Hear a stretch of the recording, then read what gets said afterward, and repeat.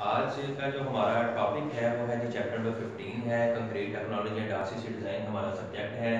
Chapter number 15 के पहले बेटा हमने जो सा है फार्मूले जो सा रीड किए थे, आज हम न्यूमेरिकल को सॉल्व करते हैं, कहते हैं an reinforced concrete column is 400 by 400 millimetre in size इसका साइज़ देखिए क्या है?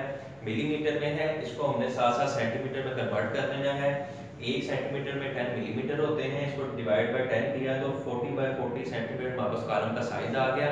और मैंने आपको ये भी बताया था कि जो कॉलम का साइज़ होता है, उसको एरिया ऑफ़ ग्रॉस कहते हैं। यानी एजी हमारे पास आ गया 1600 सेंटीमीटर स्क्वायर इसके बाद कहते हैं? And has effective length column की वो है 4500 मिलीमीटर इसको भी सेंटीमीटर में कन्वर्ट कर लिया लेंथ आ गई हमारे पास 450 सेंटीमीटर उसके बाद कहता है ज्यूमिंग 2% स्टील के एरिया ऑफ़ स्टील यानी एएससी हमारे पास 2% है। हमने परसेंटेज को खत्म किया डिवाइडेड बाय 100 ये आ गया 0.02 इसका 2% स्टील है, ये एरिया ऑफ़ ग्रास का 2% स्टील होता है। इसलिए इसके साथ आपने एजी लाजमी लगाना है। अगर एजी नहीं लगाएँगे तो क्वेश्चन सॉल्व नहीं होगा। अगर इधर 3% हो तो 0.03 साथ एजी 4 हो तो 0.04 एजी आएगा। अभी 2% है इसके साथ हमने परसेंटेज को खत्म करके 0.02 एजी कर दिया। कहता है फाइंड सेफ़ लोड कि आपने पी फाइंड करना है। उसके बाद कहता है टेक एफ़ सी है 20 मेगापास्कल इसको कन्वर्ट कर दिया किलोग्राम पर सेंटीमीटर स्क्वायर में। इसके बाद है ये एफ़ वाई है हमारे पास 300 मेगापास्कल उसको भी कन्वर्ट कर दिया हमने। किलोग्राम पर सेंटीमीटर स्क्वायर में ये, हमने केवल डाटा जो है इसका लिख लिया कॉलम का। कहता आपने पी सेफ़ लोड फाइंड करना है। तो हमने इसका फार्मूला जो हमारे पास होता है, वो ये था कि P G C plus A multiply F अब इसमें कुछ चीज़ें मिस हैं जो हमारे पास नहीं है। वो क्या है कि इसके अगर हम देखें तो सी की वैल्यू नहीं है। एएससी की सबसे पहले तो हमने इसको कॉलम को ये देखना है कि क्वेश्चन में हमें बता नहीं क्या कि लॉन्ग कॉलम है या शॉर्ट कॉलम है। इसका क्या क्राइटेरिया है कि हमने फार्मूला हमारे पास है slenderness ratio is equal to effective length over least dimension of column की जो सबसे छोटी कमाइश है कॉलम की।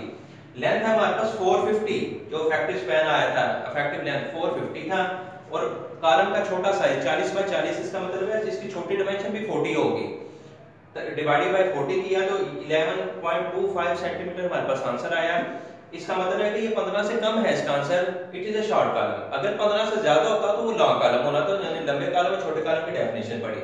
उसके बाद एएससी का हमारे पास 0.02 एजी अब एरिया ऑफ़ ग्रास एजी तो है हमारे पास, क्योंकि कॉलम का साइज़ 40 बाय 40 था 1600 सेंटीमीटर स्क्वायर मल्टीप्लाई 1600 किया तो 32 आ गया हमारे पास एएससी का आंसर साथ आएगा सेंटीमीटर स्क्वायर एरिया किसी भी चीज़ का सेंटीमीटर स्क्वायर इंच स्क्वायर या मिलीमीटर स्क्वायर में होता है. इसके साथ हमने सेंटीमीटर स्क्वायर लगा दिया. अब हमने बेटा फार्मूला पुट किया. फार्मूले में हमने पी तो फाइंड करना था एफसीसी एफसी को ही एफसीसी कह के जाता है जो कंक्रीट की पहली वैल्यू होती है. उसको 204 था हमारे पास. ये था जी 204 उसके बाद है एजी वो 1600 है हमारे पास. उसके बाद एएससी का आंसर आ गया 32 plus 32 multiply FSC FSC question में नहीं दिया जाता एफएससी की वैल्यू अगर क्वेश्चन हमारे पास सेंटीमीटर में होगा तो इसकी वैल्यू 1300 किलोग्राम पर सेंटीमीटर स्क्वायर लगेगी.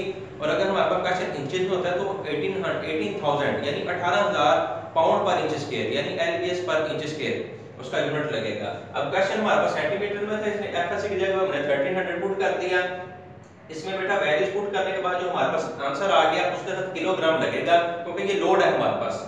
कोई भी लोड पाउंड में होता है या किलोग्राम के अंदर होता है, इसलिए हमने इसके साथ केजी लगा दिया और इस क्वेश्चन के अंदर हमें क्या किया था आपने सेफ़ लोड फाइंड करना है।